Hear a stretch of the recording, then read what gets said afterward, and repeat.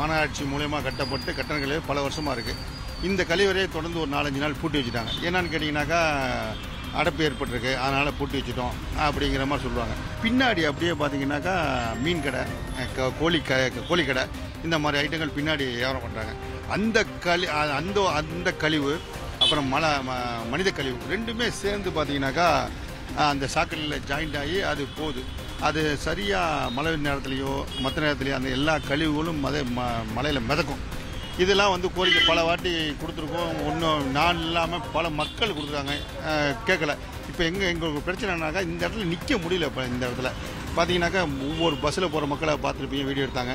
எல்லாம் மூக்க பொத்திட்டு போகிறாங்க வியாபாரம் பண்ண முடியல எங்களால். இந்த வாடை வந்து மாவட்டத்துக்குள்ளே வரைக்கும் வருது. இந்த இப்படிலாம் நின்றோம்னாக்கா எங்களுக்கு சீக்கிரம் வியாதி வந்து செத்து போயிடும் அதனால் எங்களுக்கு வந்து நிரந்தர தீர்வு வேணும். மீன் மார்க்கெட்டை உடனே அப்புறப்படுத்தணும். அவங்க கோரிக்கை ஏற்று அந்த இடத்துக்கு தர்பார் மேட்டு பகுதியில் புதுசாக கட்டியிருக்க மீன் மார்க்கெட்டுக்கு போகணும்.